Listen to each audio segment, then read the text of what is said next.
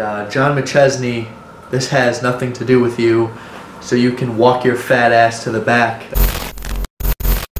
This is to Aaron Draven. You know, as I looked into you, uh, I don't quite understand what's going on. You call yourself the horror story. Is it the Jason Voorhees mask? Oh, wait, no, that mask is orange. So, uh, it's not a rip-off at all. It just clicked.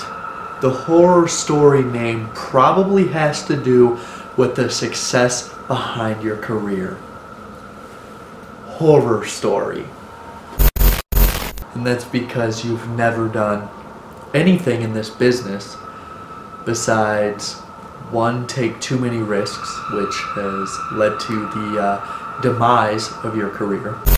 Stand in McChesney's shadow behind this company that he's founded and uh, take half credit. You're not hard. You're not scary. You're just a guy. A guy with no creativity, who sees people like me, people who actually have demons, people who have actually been through in their lives, and say, hey, I want to be like that guy. So you turn on the TV and binge watch American Horror Story and come up with some stupid ass nickname. And the pathetic thing is, these people actually buy the that you put in front of them. You are a fraud.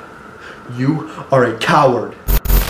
You are the reason that people like me, people who have actually been through something in their life, are not taken seriously. Not anymore. I'm done not being taken seriously. On Wednesday, November 27th, you bring me your horror story. And I'll bring you mine. This is a tale